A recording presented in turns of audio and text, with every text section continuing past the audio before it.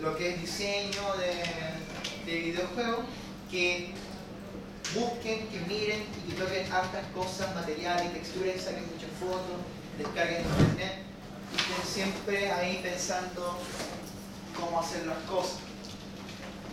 Que un buen material con una buena iluminación son el sinónimo a un buen producto. Porque cuando ustedes vayan a vender algo, a pesar de que su idea sea genial y que no exista un videojuego como el de ustedes, si la weá se ve fea, mal texturizada, iluminada, se los van a meter por buena parte. Porque lo primero que ven los clientes es que se vea bonito, porque los clientes son imbéciles.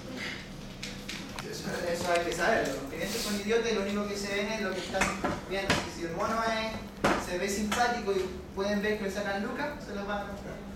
Si no, están cagados.